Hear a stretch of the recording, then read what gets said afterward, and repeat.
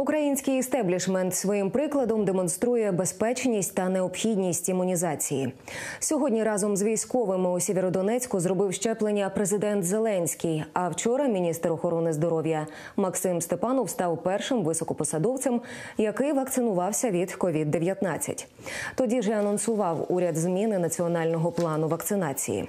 До списку на першочергове щеплення і для популяризації цієї кампанії, крім медиків, включили спортсменів, діячів культури, священнослужителів.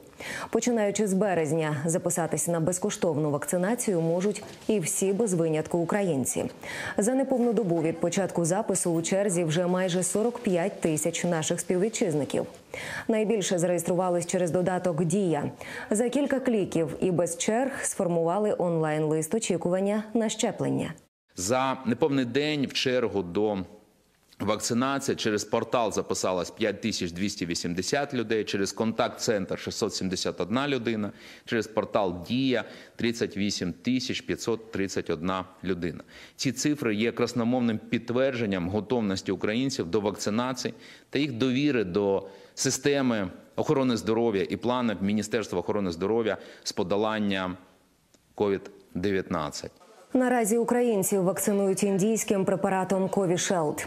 Щеплення вже отримали майже 5 тисяч українців із групи ризику. Більш як 1700 із них зробили першу ін'єкцію лише упродовж понеділка. Нагадаємо, тиждень тому Вінницька область отримала 17 тисяч 800 доз вакцини разом зі шприцями та коробками для утилізації. Про своє здоров'я вінничани дбають, а відтак від імунізації відмовлятись не збираються.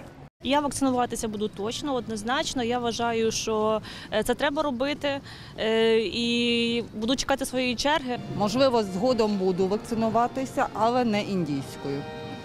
Хотілося б щось краще. Навіть можна купити десь в приватній клініці якусь гарну вакцину. Якщо буде можливість, буду вакцинуватися.